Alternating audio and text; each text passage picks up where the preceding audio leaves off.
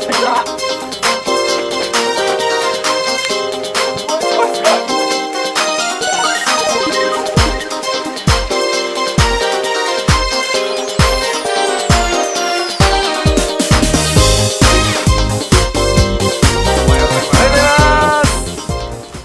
日井の落合公園に来ました。はいどうも。今日よろしくお願いします。オレンジ田中です。よろしくお願いします。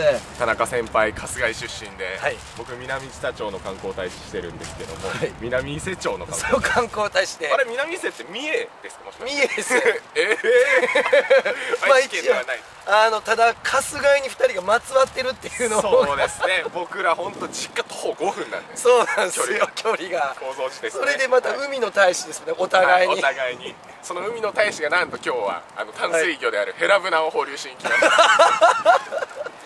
こちらの小さい池の方が、はい。あの釣りが OK ということで、はい。大きい方は NG なんですけどもこの小さい池で皆さん今日は朝からたくさん集まっていただいて、そうですね。はい、日本釣り振興会の放流ということで、僕らゴミ拾いおも朝おすごいです。から朝から大地さんと一生懸命頑張りましたよ。はい。はい。こういって皆さん清掃活動や釣りの活動も普段されている池ということで、はい。今日はヘラブナを放流していきたいと思います。ちなみにここはヘラブナ以外にも釣れるんですか？そうですね鯉とか釣れるみたいです。ね僕は小さい頃にここでヘラブナフナマブナかな？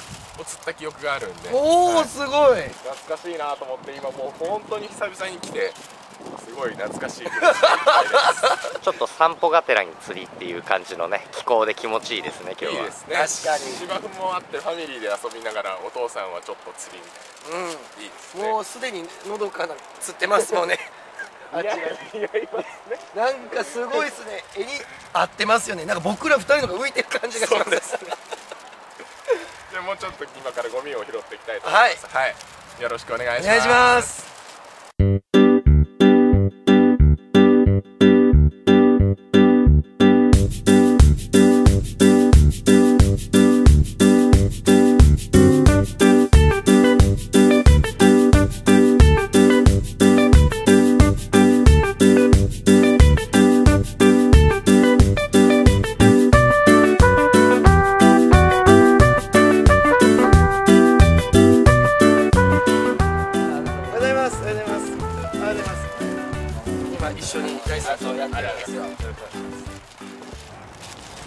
人気者ですねああもう。嬉しい限りで。なんかいいっすね地元に帰ってきて。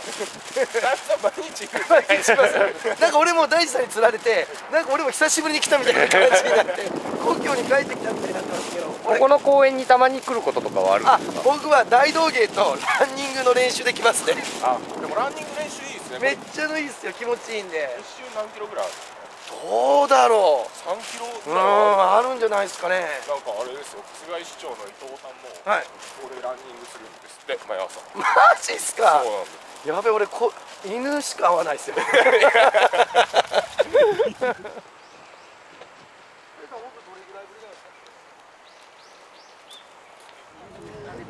これなんか釣らなあかん。わ。ここは結構釣れるんですか？この辺だと。ちょっといっぺん文ちゃん引っ張ってみやほれ。当たったっていうに今。いやせっかくだったら釣ってほしいです。ね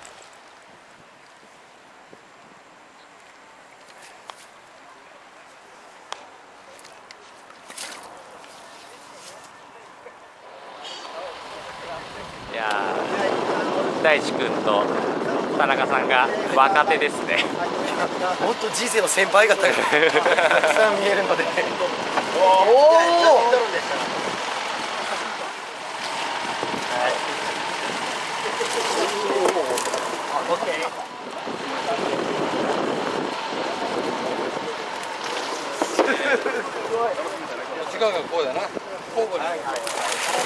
すごい。バケ釣りですごいたくさん船が。でまた息がいいですよね。あれ俺が言った瞬間止まりましたよ。さっきまでビシャビシャってなってたのに。さあ入れてあげましょう。空気読めるな。じゃあ大さん行きましょうか。行きましょう。放流行きます。はい。おおいったいるいってるいってる。すごい。おお全部いくか。ー行きました。ちょっと今回の放流は魚が大きいですね。大きいですね今まで。でずっと稚魚放流に行ってきたんで、なるほど。今回は稚魚じゃないですね。もう大きいですからね。えーすごい。どうですか大さん？やってみた感想って。いや僕もちょっとヘラブナ釣りがしたいな。車車に竿入ってますよ。ちょっと戻ってやりますか。って言っていやいいですね。いやー初めて見ましたけどこうやって入れるんですね放流するんですね。そうなんですよ。皆さんこうやって普段はたらい。人生の先輩方ははい。もうやり慣れてるのでバケツリレーみたいな感じで。で俺見てて思ったんですけど大さんの入れ方すごい優しかったじゃないですか。あの先輩方結構荒々しいですよあのちょっと見れたらもう一回見たいんですけどあ終わりました？あ来るかな？僕が昔船釣ったこっち側の池へあそうなんですか。ちょちょっともう一回見てもらっていいですか先輩たち。結構大さんやっぱ丁寧でしたねやっぱり。先輩方たちはもう慣れてらっしゃるから。さっとさっと魚にもう水に入れてあげてい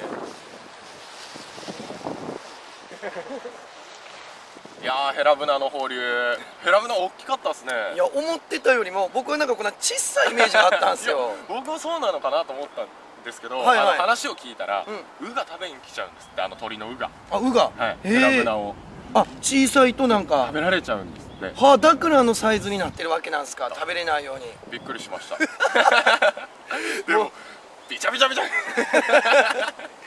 いやめっちゃ楽しかったですけどもう全然知らないことだらけなんで。いやーでも人生の先輩がたくさん見えましたね。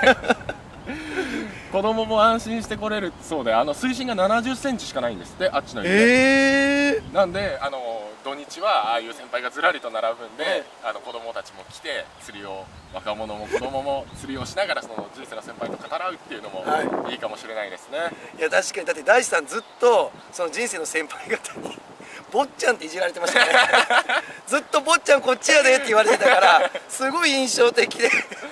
春日井の坊ちゃんです。春日井の坊ちゃんですんでいえいえそんなでも楽しかったですね。いや楽しかったっすよ。またぜひ今日放流したヘラブナでも2人でのんびり行きたいですね。あぜひぜひもういろいろ先輩方に教えてもらいましょうよ。そうですね。今日お疲れ様でした。ありがとうございます。ありがとうございました